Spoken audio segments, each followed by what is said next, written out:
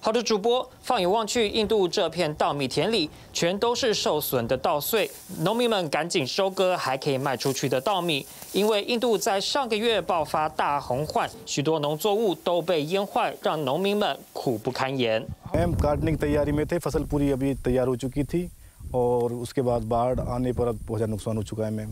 नहीं तो एक दो दिन कट जाती है मतलब ये 根据印度政府表示，今年因为强降雨，已经让当地大米零售价在一个月内上涨了百分之三。印度当地媒体也报道，七月初印度粮食库存已经跌到五年内最低点。为了稳定国内市场供应量和粮食价格，印度政府已经宣布要扩大出口禁令。除了印度香米和真壳米以外呢，一切的白米立即禁止出口。 这也引发加拿大、澳洲、美国等地出现大米抢购潮。美国德州达拉斯的这间商店内就有大批民众攀爬货架抢购一包包的印度香米哦。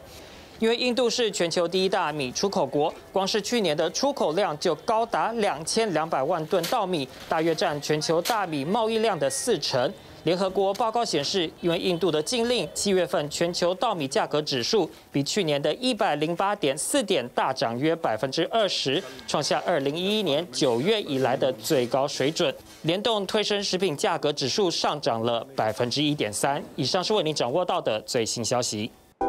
想看最完整的新闻内容，记得下载 TVBS 新闻网 APP。